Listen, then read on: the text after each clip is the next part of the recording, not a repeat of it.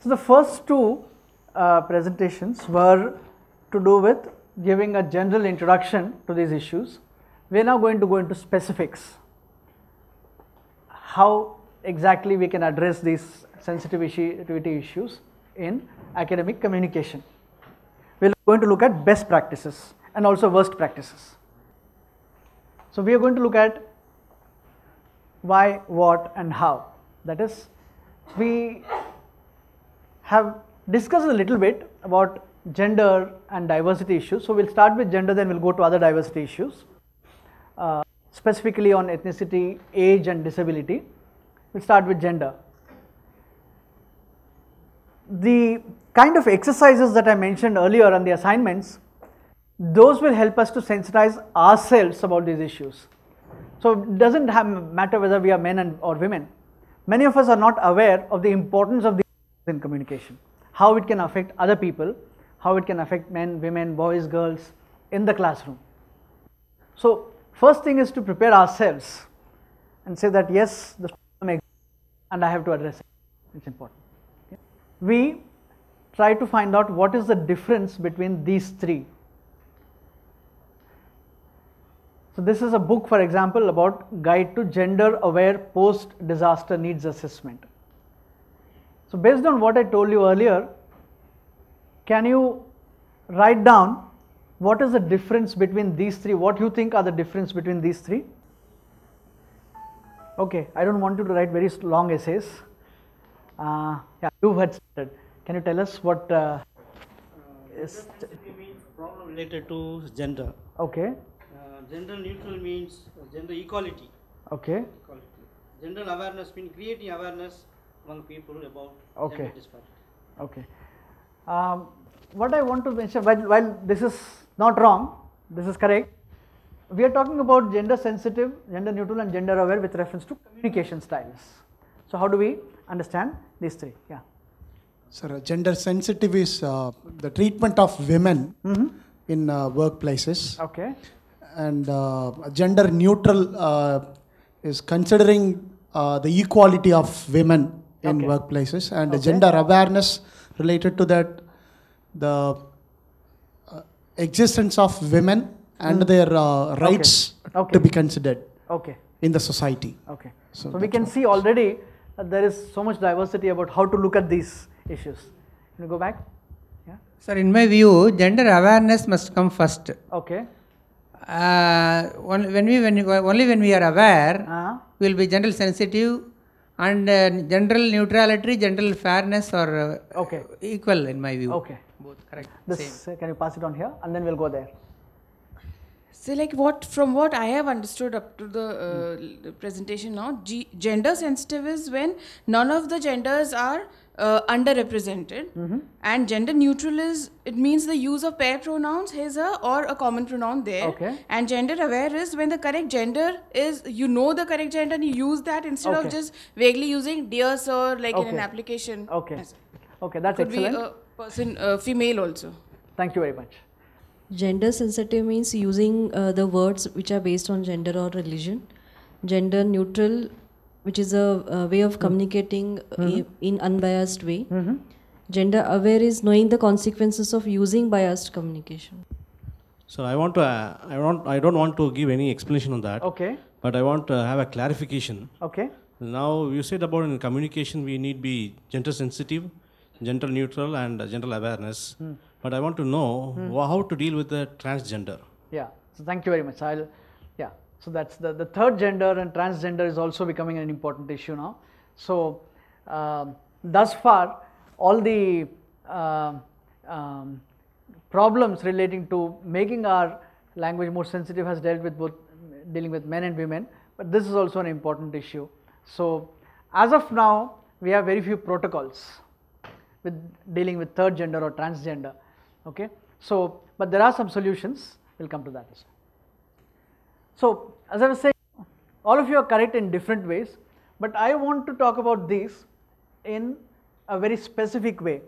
That is, while communicating um, scientific knowledge, while communicating our research, while communicating what we have to teach, sensitive or fair refers to the fact that we are aware that there are men, women, transgender, third gender and so on and making sure we don't use an exclusive term like mankind or men or he to refer to all of them. Gender neutral is when it is not important to focus on the differences. So, there are some cases where we want to ensure that we refer to all of them. There are some cases where it is not important to us whether we are subjects that we are talking about are men or women. You are doing a study of fatigue and tiredness in the workplace, maybe in the aeroplane among men and male and female workers. So, you are interested in fatigue and tiredness, you are not interested in separating out the findings by men and women. So, when you are not interested in those differences, then you look at you use general neutral terms. Okay, I will give you examples. Or when we are talking about third gender, transgender, and so on, again in such cases also we either do not want to mention their gender at all, or we want to uh, uh, refer to them in terms of their own preferred gender. If you do not know, it is preferred to preferable to use gender neutral terms, avoid reference to any gender. Gender aware is that is the reason I gave this example here. So, there are some cases where we know that there are differences between men and women which can be physiological, which can be psychological, which can be social and we have to incorporate that into our research. So, I want to set up post disaster relief and recovery mechanisms and if I know that women's needs are different from men then I need to have different strategies and policies. So, in that case I am gender aware. So, this is an example actually from an IDRC, IDRC is International Development Research Center, is one of the biggest funding agencies for research in the world and they will insist that your language, your research proposal address these issues otherwise they will not even look at your proposal. So, if for example you say my technology is going to benefit 300,000 people, they will ask you how many of these are men, how many are women, how many are children.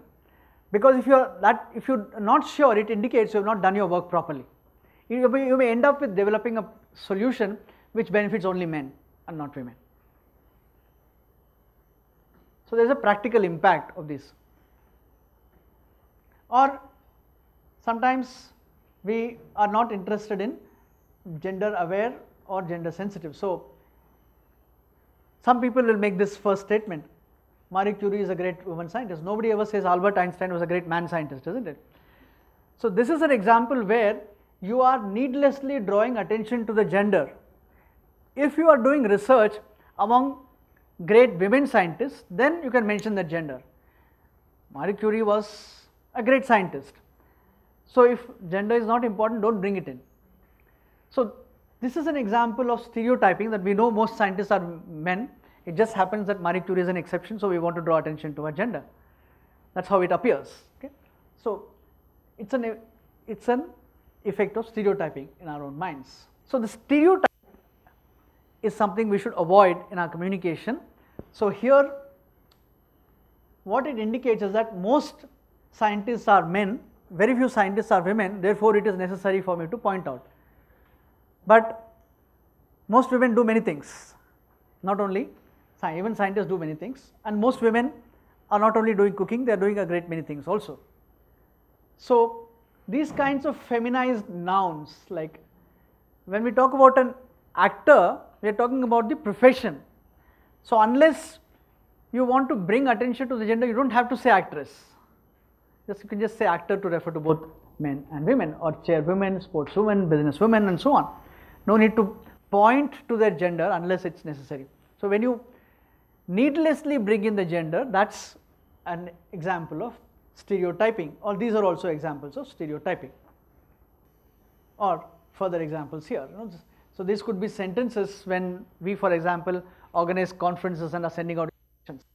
So, research scientists often transport will be provided for delegates and there 30 women I say or 40 women okay, who are also delegates for participants who may have come with their spouses so, you can there are words available. So, one of the things we want to say is that these kinds of terminologies have come into usage not because of lack of alternatives. There are alternatives, but we don't use them because for a long time women were very less present in these kinds of situations, writing these communication uh, messages written, oral and so on. Or this, this looks like a very interesting uh, scientific study. Research scientists often neglect their wives and children. So, somebody wrote an article called now even your mom can program. So, there was a lot of outcry against this because it is assumed here that moms are generally stupid. And with Arduino you can do it otherwise they cannot do it. You know, even though some of the biggest CEOs of large software companies in the world including Yahoo are women, HP and Compaq and all of them are women. So, there was an outcry against this and subsequently this author gave an apology because there is, uh, it indicates a kind of prejudice towards mothers here. That is what we are saying about. Normally from the name we cannot differentiate Yeah. whether it is a lady, Yes, woman, correct, man or correct, woman. And when we are writing a letter, like for example in uh, India also, like Dr. Kamal, Kamal is the name. Yeah. It in both the things. Or in, in foreign countries, we never understood whether it is a lady or. yeah. So how we can address it? So that- because we need that for the addressing. Yeah. So that's why we have given you these options. If you know, then you can, as one of you mentioned here, that if you know, you can actually say dear sir or madam. If you don't know, you can say dear sir or madam. Okay. So that's the difference between gender neutral and gender sensitive and gender aware. So depending on your knowledge, you can use one of these options. You, or you can just say sir slash madam if you don't know. You can use different kind of options. So and that goes back to what you were just asking. One has to become aware when to use them, when not to use them, when to avoid the use of suffix nouns. So you can use he or him if you know the gender. If you don't know, to assume that that person is always a male, that is being unfair. That is being stereotypical.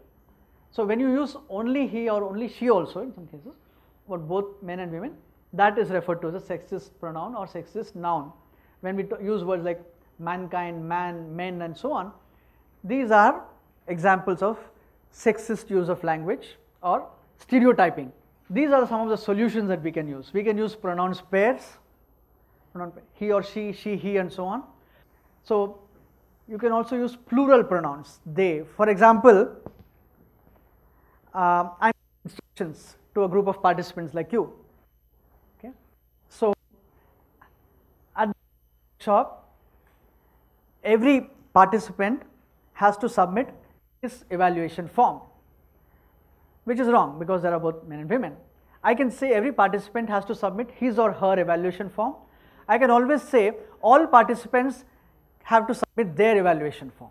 So avoid mentioning gender altogether. That is an example of neutrality.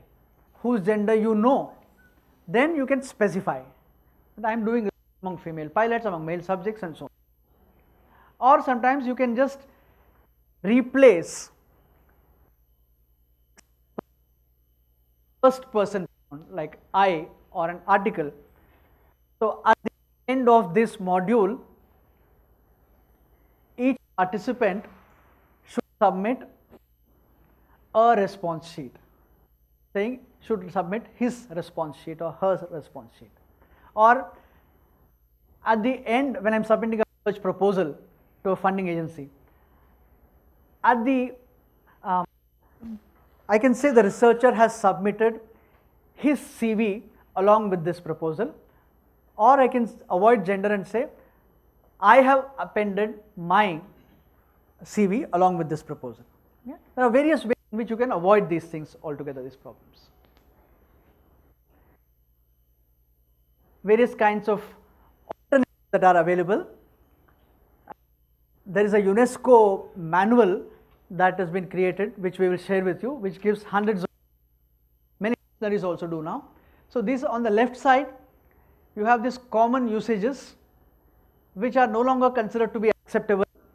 On the right which you can use in your communication, workplace communication, formal, informal communication, uh, written, oral and so on. I will give you examples, published uh, articles where uh, give examples of sensitive and insensitive language. So here you have a sentence from an article that I have taken. Lead acid battery models developed by chemistry experts are not expressed in terms of electrical networks. That would help an electrical engineer to explain, exploit his know-how. So, this article assumes that all electrical engineers are men. So, that is not acceptable. You can use any of those solutions that I gave you earlier. Okay? Instead of referring to electrical engineer as his, you should assume that can be male, female, third gender, transgender. This is another example. Mankind is now able to design materials. So, women in this in IIT Bombay working on so it needs men here. So it just and we do have words like human, humanity, humankind, and so on. This one I was telling you earlier about use of language can have serious consequences for the use of our knowledge. Third example here is about effects of ketanserin and haloperidol on pre-pulse inhibition of the acoustic startle eye blink response and in man. Suppose I want to use this research and I want to find out the response and effect on both men and women. Now I am a busy person, of course a doctor wants to use this, doctors are very busy. They want to find out only from the title whether this applies only to men or to men and women. So you are yourself losing out on more people reading your study if you do not use sensitive language here. So if this refers to both men and women, then you mention it because we know the physiology of men and women is not exactly the same, it will be different. So mention, I'll say response in human beings, humans. Okay. Again, another example here where exclusive use of masculine nouns is used to refer to both men and human beings. Again, these are examples of how not to use the language. These are from older articles as you can see. Uh, more, these days, most of these journals have revised their guidelines and they will not accept these titles anymore. So, man machine interface, um, man's survival, yeast and man, you can see. These are all from famous journals. Okay. On the other hand, these are from more recent uh, journals. Some of them have changed their guidelines earlier, some of them more recently. So, you can see in this article, uh, it says education technology and the professional Brazil, his or her formation. So, the educational professional like all of us can be both men and women, can be a third gender or you can just say educational technology and professionals in Brazil, their formation if you want to include third gender and other people also. So, instead of manpower you can use human resources, manpower is a term that is to be avoided. Uh, this is an article from the American Journal of Distance Education. One sentence is like this. You see, they have used a pronoun pair, he, she. This is from Social Psychology Quarterly. Reaction to a child's mistakes as affected by his, her looks. That's how we are supposed to say. Or you can see this one. So, this author is very careful in stating that the DNA damage is studied both among men and women. So, somebody who is interested in using this research only in women or only in men can read this. I know exactly what this article is about. It is not vague, it is not ambiguous, it is crystal clear. Uh, you should try to replace the pronouns like his or her Hmm. once. Once, yes, you can do that also. Yes, sir. You can do that, yes. One should know the, uh, uh, one should know what is one's responsibility rather than saying Correct, his or her. correct, you can do Yes, that. Thank you, sir. So there are many different solutions. So that is the beauty of this that there are actually so many different ways of addressing this problem and yet we continue to make the same mistake. So there are so many different ways in which you can address these kinds of problems, okay, make the language in fact clearer. So you can see it's not simply about avoiding bias, it's also about making the language clear. So saying um, learning from media presentations would actually make it whisper also. So usually some people say there's nothing wrong because this is what we've been doing for centuries. What is wrong with using mankind and so on? This is the response to that. Okay. So the idea is that in communication we want to feel everybody feel included, not to exclude anybody. That's why we are doing this. That increases the effectiveness of our communication. So these are a large number of uh, uh, examples of how to avoid gendered nouns and then bring in gender neutral nouns to substitute and you can probably make these lists by yourself and give them to your in uh, you can identify I'll just come to you you can probably identify in your specific subjects that you are teaching what kind of words are commonly used and what kind of substitutes can you find for them and then pass it on to your students to use in their assignments projects papers and so on yes um, in the earlier example, there was from one uh, sentence from the journal, you know. Yeah. And uh, I believe if we can uh, still stick to the older method by writing in passive voices, Ah. in that case also we can avoid using Okay. uh, he or she. Talk. Yes. Um, if I had time, I would have talked about that. You know, in general, uh, we are supposed to To avoid use of passive voice because use of passive voice is more uh, convoluted. It doesn't make the language clearer. But uh, in the larger presentation, which I give here and in other places, uh, we say that in the interests of gender fairness, you can use passive can, voice. yeah. You can use passive voice in attached. Yeah. So you avoid mentioning any person. So instead of saying he, she's, I have attached, you can just say letter has been attached. Most of the word processing software you automatically recognizes passive voice and underlines it in red and says please consider converting it into active voice. So in general we are supposed to use passive voice very sparingly. So but in the interest of being gender fair you can use sometimes. Sir, see what you are giving now means hmm? substituting the word. Yes. It is a very temporary solution, I think. Mhm. Actual solution is we need to change the mentality of the society. Correct. What we uh, talked about the stereotypes. Correct. That is something what we identify these words. Correct. But actually we know the mentality. Yes. Yeah. That we need to change. Yeah. Then I Uh, think uh, yeah. these words will not make much difference. Yeah. So we that's completely accepted. What we are saying is uh, society takes a lot of time to change. Those problems we should not import into our communication. So what can we do is to avoid those stereotypes and biases from coming into our communication while at the same time struggling to uh, remove those stereotypes from society. So what we are saying is as teachers we have a role. If we can change our communication in the long run people will overcome those stereotypes. Because earlier generations did not do it, it is taking more time. Whereas if we can do it in our classrooms, those stereotypes will disappear much faster. Is it right to use active voices or passive voices in technical communication? Active.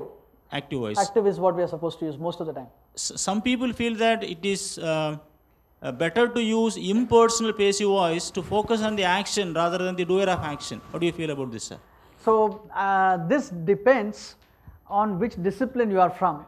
So uh, recently I submitted an article, this was on disasters, where I was asked to use more passive voice.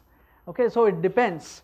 So there are certain kinds of publishers who would like you to use more active, certain kinds of publishers, journals who would like you to use passive. So it's better to find out. So these days, most associations, bodies, journals also give you guidelines. Better to find out and, and there is also a preferred style that has evolved over a period of time in every subject. Okay, so and since history is dealing with the past most of the of, most often, they tend to use more of passive voice. So it depends. So one golden rule we want to say here is that there is no standard rule. It's always important to find out what is the preferred style even and that will become more clear in the next presentation. It's always important for us. So sensitivity means finding out what is acceptable and then using it, not assuming that what you say is correct. Hmm? It's a very some of sometimes in searching alternative terms, especially for new terms, in searching for words which are gender neutral, gender fair, and so on, you can end up with very awkward terms like uncrewed aerial vehicle. The American Society of uh, Mechanical Engineers came. It can be very awkward, and generally we say technical communication must be accurate, but it must be elegant as far as possible. So this is not exactly an elegant term, but this one is. Instead of saying unmanned aerial vehicle, you can say robotic aircraft, or nowadays you call them drones. Yeah, these are just more examples. Again, I'm not going to go into all of them in detail, just to show that there are a lot of alternative terms that can be used to avoid these kind of uh, sexist terms which are no longer considered to be acceptable, which are considered to be stereotypes. Okay. So let's do some exercises. So we are saying gender neutral language is dash and free of something inclusive and free of stereotypes and biases. Okay. Women are vastly dash in STEM jobs and among. That's one of the reasons why we are talking about this. If they were more better represented, some of these communication problems may not have emerged. So it's, they are underrepresented. Terms that specify a particular sex can unnecessarily perpetuate certain stereotypes. It's the same term that we use there. Be aware of the gender specific words you use, their meanings and and communication effects. What is the effect of on communication of those? So this, this is just examples of how you can design online assessment. So there are two things that you have to consider when you design these quizzes. One, to sensitize the students or participants about the broader issues which are these or you can give um, mm, you know quizzes on actual terms and words which are the correct ones. So, combination of both would work well in training students. Okay. I am calling this home assignment which you can use later, but let us see if we can do it here. How much do you know about how men and women communicate? So, there are a lot of psychological studies which talk about differences in communication. So, non-verbal messages carry more weight than verbal messages. So, I would like to ask only the men in this audience to respond. Women, I will come to you. The men, how many of you think this is true? Uh, no, no, I don't want to go into depending now. That is a classic academic response to every all questions. It depends. okay. Yes or no? True or false? True. Okay. Um, how many of you say think it's false? Only one. Okay, that's good. And women, how many of you think this is true? First sentence. Okay, almost all women. Non-verbal messages carry more weight than verbal messages. That is, instead of speaking, I give a message through an gesture. It could be nodding my head, it could be shrugging my shoulders, it could be through uh, eyes, expression, all of those kind of things. Visual is more powerful in vocal and uh, Visual, yeah. In spite of that, most of the men here said it's true. Okay, so so visual is more than verbal. Oh, sorry, visual is more than more uh, more effective than verbal. We are saying. The non-verbal is 55%. Number? 55% out of 100. Uh huh. We are going to take in the commu- communication skill. Our non- non-verbal is 55. Non-verbal is 55. Okay. Visual is your. On what basis do you say that? Yeah, uh, let me. I- have referred in the book. You have referred to the book. Okay, that's very good. 55%. Right. Okay. 38% is your vocal. Mhm. 55% is visual. Okay. And your uh, um, verbal is Okay. your 7%. Okay. Now, what just came out in this classroom is very interesting and it probably shows that the men here are more sensitive because in general studies show that men are men notice verbal messages more than non-verbal ones whereas women notice non-verbal messages more than women. okay so so but here except for one person i'm not saying you are insensitive okay in general we find that men will say you never told me this will tell women you never told me this but you know there was a signal that was sent out but they didn't receive it it's, so Sir, uh, It has to be non-verbal so non-verbal messages carry more weightage than verbal messages. It Mhm. can be true or false. Yes. It all depends on the situation at which we are talking. Okay. So in a classroom, when you are giving a lecture, Mhm. and if you want a pen, Mhm. like uh, I'll use non-verbal message. Mhm. So it is correct at that particular situation. No, no, we, in, in general, we Yes. agree. The scientific thing to say is that it depends. But in general, a lot of studies show that women are more cued into receiving non-verbal messages. Men are men, for some reason, are more stupid and have to be specifically told things. Otherwise, they will not listen to. you. Okay. So, okay. Um, all women do much more than cooking in their daily lives. True. True. Okay. And yet, so that is, you know, one of the stereotypes that we talked about earlier was about housewife versus home. Housewife ignores this particular fact that women do a lot of things.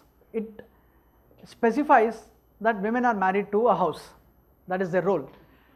Whereas a homemaker recognizes that women do so many things cooking, cleaning, taking care of children, taking care of elderly people, sick people, shopping, and working. Okay, men also may do all of these things, but we don't refer to men as uh, you know, in- not not only house husbands. I'm saying we don't refer to men purely in terms of their work status. That's what we are saying.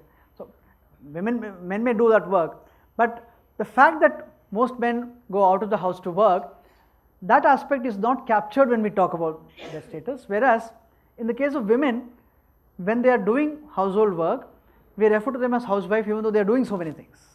So, again, it goes back to what I was saying earlier in scientific communication, we have to be accurate. So, homemaker is a more accurate term to refer to what women do, whereas a housewife is not only a stereotype, it is a term that doesn't mean anything actually. Because again, it seems to refer to the status of a woman purely in terms of her marital status, which is not always very important for us. Is this true when people, huh?